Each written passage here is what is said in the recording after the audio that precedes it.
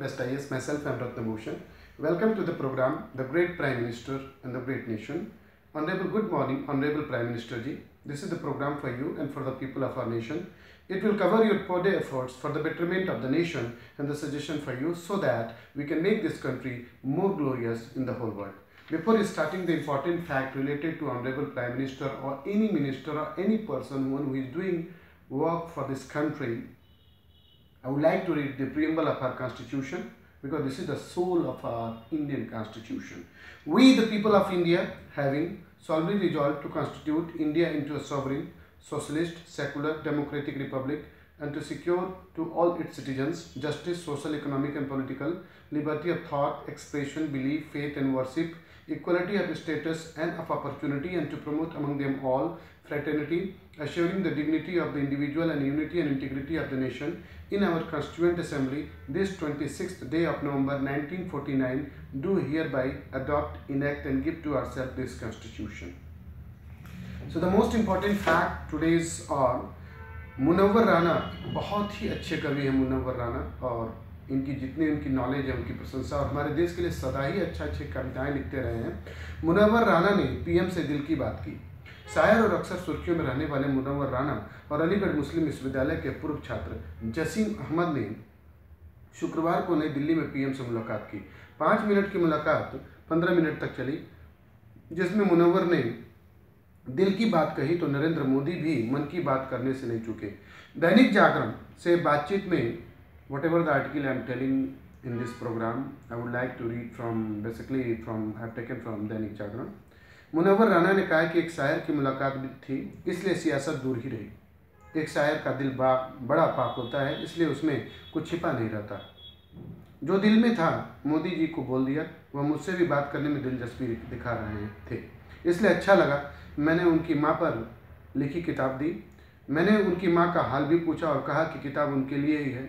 मुनव्वर राना ने प्रधानमंत्री से बातचीत में यूपी में जो चेंजेज आया, उसके लिए भी बात किया और प्रधानमंत्री मोदी जी ने भी कहा कि भाजपा सरकार सभी वर्गों के लिए है, सबके विकास के लिए काम कर रही है और करती रहेगी।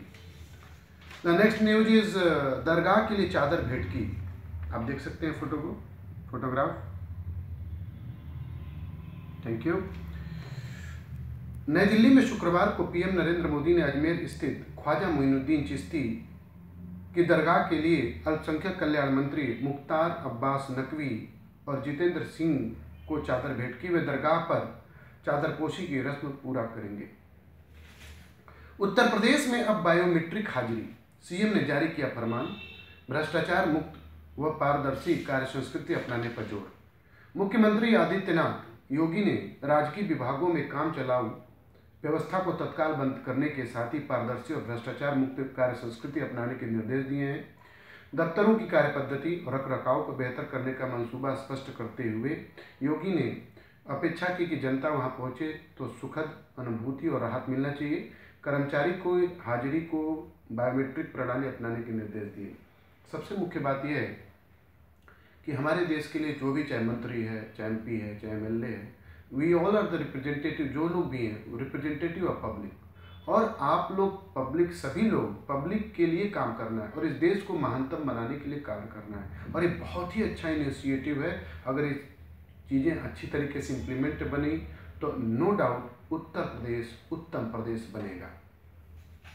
प्रधानमंत्री जी the most important suggestion for many days I am telling हर दो किलोमीटर पे एक डस्टबिन और वाशरूम होने चाहिए और पैड भी होने चाहिए। मुझे लगता है कि लोग इसका विनम्र पूर्वक स्वागत करेंगे क्योंकि most of the public washroom जो है एब्सोल्युटली अनहाइजीनिक और गंदे हैं।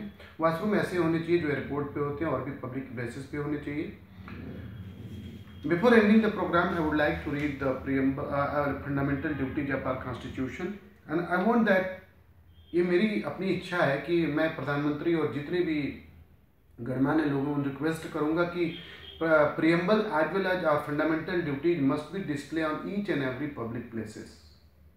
So the fundamental duties of our constitution is according to article 51a it shall be the duty of every citizen of India to abide by the Constitution and respect its ideal and institution, the national flag and the national anthem, to cherish and follow the noble ideals that inspired the national struggle for freedom, to uphold and protect the sovereignty, unity and integrity of India, to defend the country and render national service when called upon to do so, to promote harmony and the spirit of common brotherhood amongst all the people of India transacting religious, linguistic and regional or sectional diversity and to renounce uh, practices derogatory to the dignity of women, to value and preserve the rich heritage of the country's composite culture, to promote and improve the natural environment including forests, lakes, rivers and wildlife, to have a compassion for the living creatures, to develop scientific temper, humanism and the spirit of inquiry and reform, to safeguard public property and to observe violence, to strive towards excellence in all spheres of individual and collective activity so that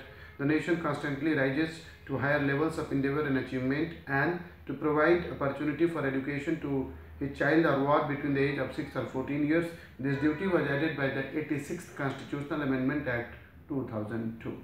So this is the uh, this is the program. Thank you, thank you, sir. We are proud on you. Your dedication, your hard work is the example for the whole nation. We can make this country more clean, more beautiful, and more glorious. And I would like to say personally that we love our country. I know that we all people love our country.